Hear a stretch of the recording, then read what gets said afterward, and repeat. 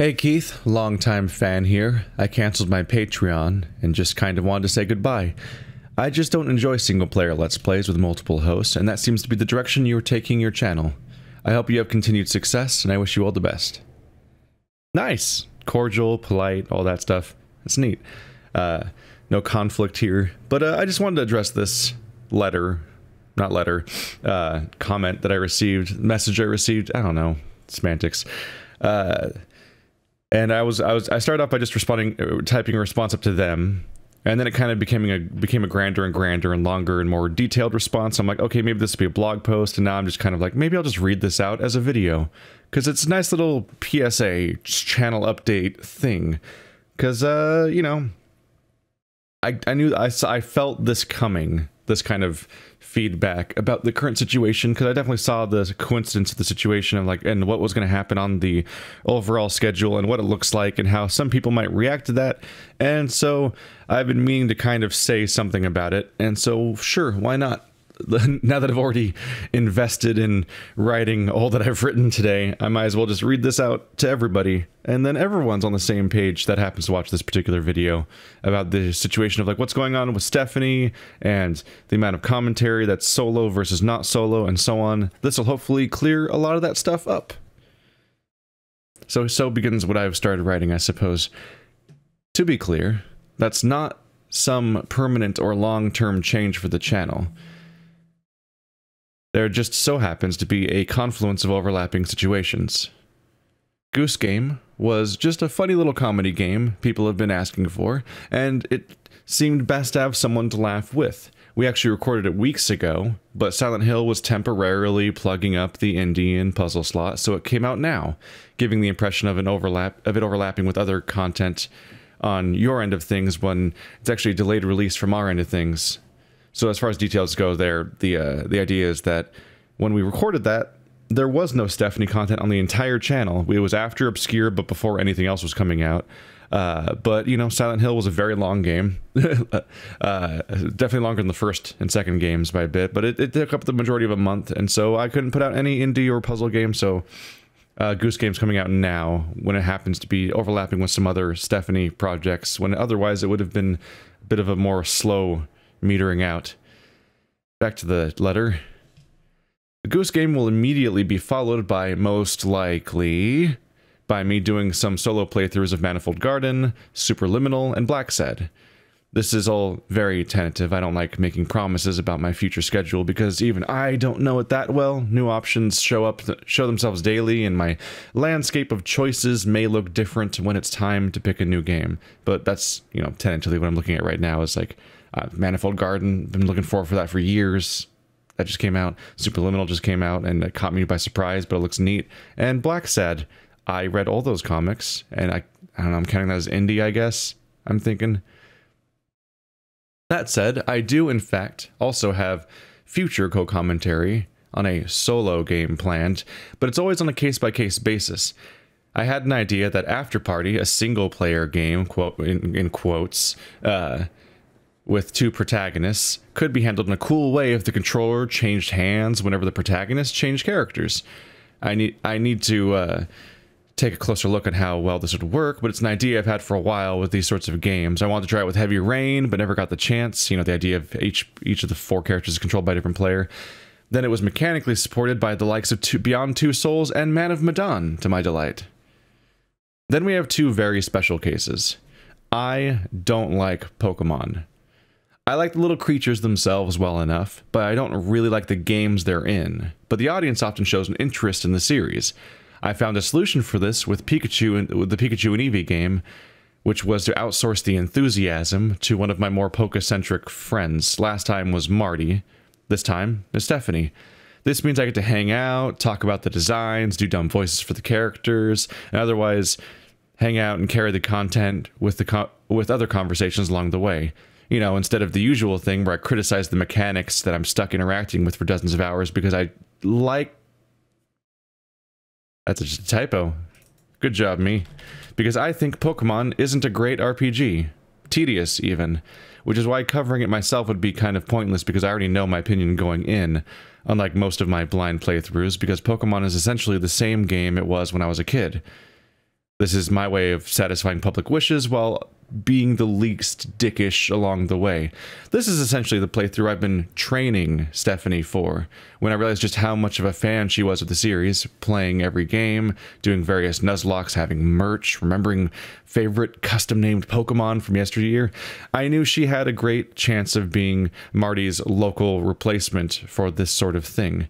After all, Pokemon Let's Go Eevee got stuck in purgatory for months because we had to coordinate schedules and drive for hours for it to happen, so it had to sit in the multiplayer when it happens time slot and survive on hopes and dreams. But with Stephanie, I have the chance to do a, a Pokemon series from beginning to end as a daily series this time. Just like other single player games, without you guys being stuck with me complaining the whole time that I'm just pressing the same attack most of the time and wow, this is just the same fight over and over again, huh? Instead, I'm like, ha, look at that dumbass. Let's name him Jean Shorts. Uh, so I'm just having fun with that. I forgot to mention the training part, which isn't that important, but when I say I was training, in quotes, Stephanie, it's that I tried other shorter, more disposable playthroughs with her to give her a trial run so that she would then, I would then know how well she would run, handle this whole idea of doing Let's Plays with me so that I can then commit to something like Pokemon more confidently. Because it would suck if I just jumped straight in with Pokemon with her and it's like, hey, we're going to do a two month long series that we're going to try to finish oh no, this isn't working at all. Because I've met a number of people that I get along with, but I they, they just can't do let's plays for some reason. Like they don't have any kind of like cadence or stage presence or they don't think of speaking and they just can't present. It's weird. But Stephanie has been great. But my test run, which I meant to say in this letter and when I was writing this up, was uh, obscure. That uh, so, which was also uh, an event thing, and it was all is you know many birds one stone I needed a horror game for the horror event. I also have been wanting to do Obscure for ages because it's local only. And I was trying to uh, test run in a, in a shorter, more disposable game that people don't really care about as, as much uh, to prep for the big release, which was the fact that I knew Pokemon Sword and Shield was coming out. So this has been something I've been planning on hopefully doing for a while. And I and I tried to handle it as smartly as possible, but the process of practicing with with Stephanie was itself more Stephanie content that might have been seen as a glut of me going further in that direction as a channel direction when it's more like I was prepping for this series specifically. Whereas in the future, Stephanie stuff is more tempting, more uh, likely to be in the same multiplayer slots as all the stuff with Andrew and Bird and Marty and Effie and Kernel RPG and so on, with stuff only occasionally going back into the main, main, main normal daily slots when it's like, no, we're committing to this as being a daily series and we're going to really crank this one out and so on. But even that's like kind of all over the place. I don't know. Slots are kind of arbitrary. Back to the letter. then we have Death Stranding, a game I respect and fear. I, I write so dramatically. I always thought I would like Death Stranding, and I've been excited to see Kojima's insanity unleashed, his overlong cutscenes, his gameplay as metaphor, the absurd mechanical depth of games like Metal Gear Solid 3 and Metal Gear Solid 5. I couldn't wait. Only one problem. I have to let's play it. You see, I always thought the game would be interesting, but I also thought it might be boring. The good boring, or at least the interesting boring, where I'm not actively annoyed with what's going on, but it sure is taking a while, huh? And then I saw various estimations that the game might be 50 hours long. Oh no. That's a lot of hours of me running around in open fields and delivering packages while trying to my damnedest to think of anything to talk about, huh? That could be not great the audience gets bored and I get frustrated by the dozens of hours of stuff that's hard to talk about. So people, so perhaps I get more frustrated with the game itself than is really due for what uh, it's more more frustrated than due for just being what it was always going to be. Not a great situation potentially. But hey, Stephanie's here. She's been keeping up with the whole Kojima and Silent Hills situation. She she loves indie and horror films just like me, and we're watching those opening hours of absurd cutscenes with wide eyes and bated breath and feeding off each other's curious energy, fully engaged. So as solutions go, it seems like a great one. So as you can see, this is all very much on a case-by-case -case basis. There are certain games where it makes a lot of sense for me to bring someone along, but still but still many more Gotta fix my typos, even though, yeah, I'll probably just should let, uh, copy paste this whole thing somewhere. But I, have I've made some typo mistakes. but still many more most even, uh, where my usual approach would clearly be preferred. Unfortunately, as I often say, I am faced with binary, mutually exclusive choices where I must, uh, when it comes to these issues, I have to side with one preference or the other, which permanently leaves those who wished I chose the opposite in the dark. Just know that, no, this is not currently becoming a co-commentary channel. Most of the time, videos that feature anyone besides me at all are still planned for those multiplayer exclusive time slots at the end of the day. It's just that these particular playthroughs are ones that I want to give a proper daily time slot. Or in the case of Death Stranding, it was chosen for me, because, you know, Patreon game, you guys picked that. Uh, but they also feel like they're best handled with another person along for the ride. This might be rough for fans that don't like the format. After all, once Goose Game ends, only three of the five, five main slots will be solo, the Let's Try slot, the Puzzle slash Indie slot, and the RPG slot, while Death Stranding and Pokemon will likely be co-commentated playthroughs for the better part of the next two months.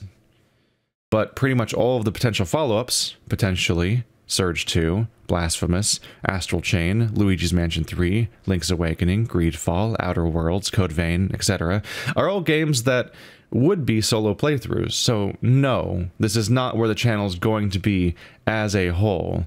It's just convenient or inconvenient timing for when a bunch of playthroughs happen to line up.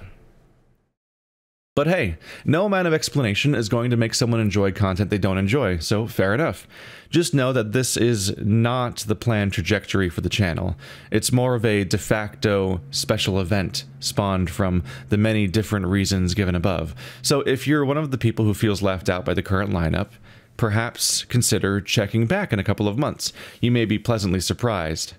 At the moment, I would recommend treating the current schedule less as a new direction for the channel and more like a schedule where you just happen to not like any of the current games being played, because that is functionally a more applicable comparison. And unfortunately, that's a risk every single time the schedule refreshes. But that's also the good news. If you don't like it, it'll all get replaced soon enough. You know, then that's the end of my letter. You know, the wheel of eternity keeps spinning on and on. Because, uh, yeah, there's always the people that are like, I don't like any of the current games. And it's like, sorry, they'll be over eventually, and then new ones will happen. And uh, I'll be here indefinitely. So, uh, hope you stick around if that's your jam. But, you know, everyone's free to make their own choices. There are tens of thousands of you, which I, I said out loud and I still can't process as being a reality. But yeah, that's the thing going on. Hopefully, no one feels too. Uh, hopefully, it's not too much of like a betrayal for anyone that I did this for the Patreon series because it is a voted thing. I know that once upon a time, uh, when uh, the when Zero Escape was nominated and did not even come close to winning. Let's be clear, uh, as far as I can remember, at least uh, not Zero Escape, 999. Uh, I did eventually decide to start doing it with Andrew. And so there was some people that like, this is a grand betrayal because you're doing this with Andrew. And ah, we wanted you to do this solo. Which the coin is flipped at this point because nowadays people are like, don't you dare play the third game without Andrew. Uh, ever. Ah, it, it won't be the same. Uh, which, uh, this is just kind of funny how that it goes back and forth like that, but that's that's what that, that's after we've gone through the whole thing, of course.